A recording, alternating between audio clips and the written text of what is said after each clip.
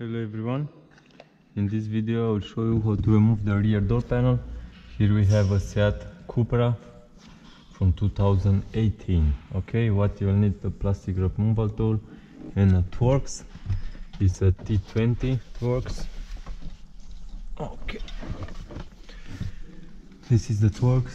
First you need to remove this plastic cover. It's very hard to remove it. I don't know why they made it like this. Wait a moment. Need to start with the bottom.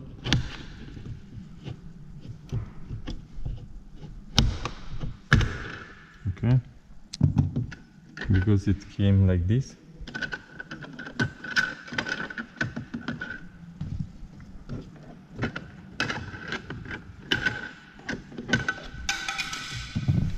Okay. This is your plastic cover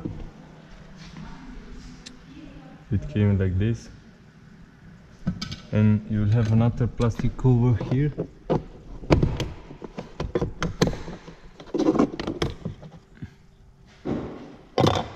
Okay you have two screws. One here.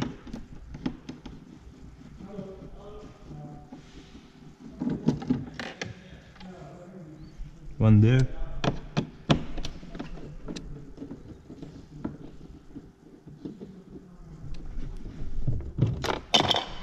okay now you need to push here because you have a mechanism. Okay push it here. The problem with this card is that the the clips are very strong.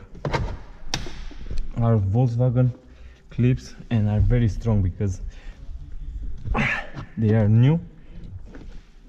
It's very hard to remove it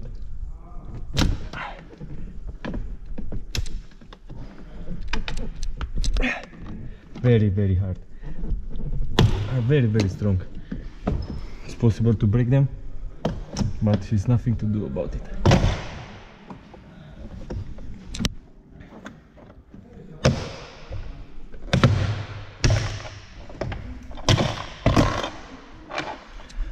On the top pull upward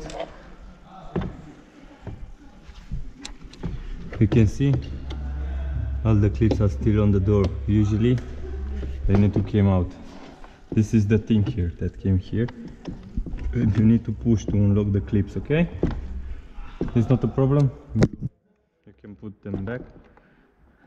It's good that this plastic is not is not breaking.